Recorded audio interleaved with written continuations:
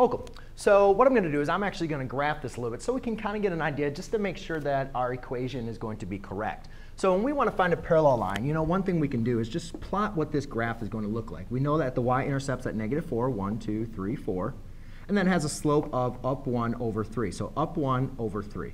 So my line looks something like this. And what I want to do is I want to find an equation that's parallel to it, that's not going to intersect, that goes to the point 1, comma 2. So I need to find a graph that's going to look something like that. So we're going to determine, just by my kind of estimation, you can see kind of where the y-intercept is going to go. It's going to be somewhere, um, you know, less than, less than, uh, less than 2. So we'll just kind of estimate and see where that's going to be at. Um, so the main important thing when dealing with parallel lines is we know that the slopes have to be exactly the same. So I'm going to say my slope, m equals 1 third. And that is true for all parallel lines. They always have the exact same slope. Now the important thing is we know that our new line has to go through the point 1 comma 2. So we can just go and label this as 1 comma 2, and I'll label this as any point y1 and x1. Now you could label them as x2, xy2. It doesn't really matter. There's infinite many points that line the line. But since we have one, I'm just going to label that x1 and y1.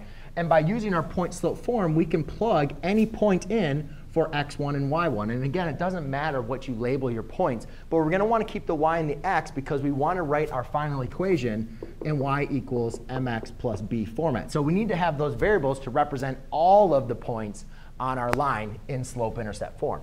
But now that I have the slope and a point, I can easily plug them into our slope-intercept form to find an equation that's going to be parallel to this line. So I write y minus y1, which is 2, equals m, which is 1 third, times x minus x1, which is 1. I can't simplify the left side anymore. I can simplify the right side by applying distributive property. So I get 1 third x minus 1 third. Then I'm just going to add 2 to isolate my variable. So therefore, I'm, now my constants, I'm going to have to do negative 1 third plus 2. Well, how do you add a fraction to a whole number? You change your whole number to a fraction. Then you got to make sure you get the same denominator. So I'm going to multiply. To get these the same denominator, I have to multiply by 3 over 3. And again, you multiply the 3 on the top and bottom to keep equivalent fractions. Therefore, I'm going to have a negative 1 third plus 6 thirds, which ends up equaling 5 thirds. OK, so therefore, now my final equation is going to be y equals 1 third x plus 5 thirds, where you can see this point right here is going to be 0, comma 5 thirds, as that's the y-intercept, and then it has a slope of 1 third, which we know has to be true for it to be parallel to this equation. Um, and 5 thirds is less than 2, but it is greater than 1. So there you go, ladies and gentlemen. That is how you write a parallel line through a point using point slope form. Thanks.